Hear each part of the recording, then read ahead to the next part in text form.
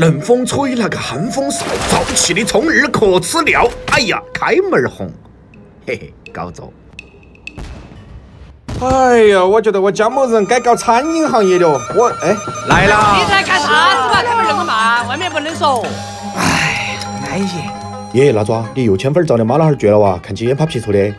他一天不好生吃饭呢，瘦得像个干猴儿一样。打呀，娃儿不打得行了。你去打他嘛？管我锤子事啊！当真的钓的鱼耶？鱼照你们一个烟头吃了噻，在哪瞧嘛？其实那个鱼也没好大个营养的。嗯。我啷个闻到红烧牛肉的味道呢？啥子？老子是客人了嘛？你好大个礼物人不得了，你要吃我呀？老子千里迢迢从内蒙跑起来送死的吗？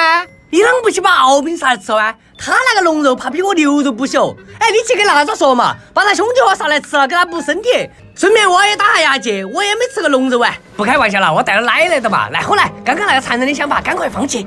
哎呀，哪家屋头常年不整点海鲜那些哦？嗯，个死胖娃儿只需要吃，那我再去给整点生蚝扇贝皮皮虾嘛。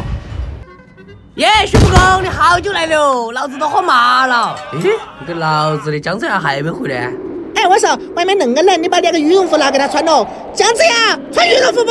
他哪里可能穿过那个羽绒服？别个要在烟塘头钓生蚝扇贝的人。哎呦喂，老子日被日大了的嘛！那个石烟塘哪里钓得到生蚝扇贝嘛？但是我打空手回去，那个死胖娃儿怕要洗刷老子三天三夜的锅，拿起舅子在里面烤火，老子在那儿淋血，想想都觉得委屈巴巴。耶，六六，他还没回来哟，那还是只有吃你哟。哎，那爪，虽然你是票房几十亿的国漫人物了，但再啷个说嘛，我也是你老辈子噻，而且我还不是可以往那方面发展。我啷个没看出来呀？昨天看到饺子导演给姜子牙拍的预热片，老子一下就坐不住了。哎，我演技还是不错哈，说不定哪天我牛牛也成了经典的国漫大人物。以后的事情以后再说，今天我只想吃红烧牛肉。啊！